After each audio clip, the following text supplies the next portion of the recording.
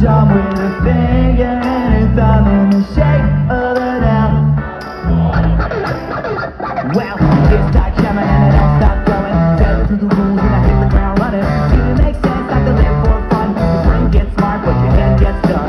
So much to do, so much to see, so what's wrong with shaking the back streets? You'll never know if you don't.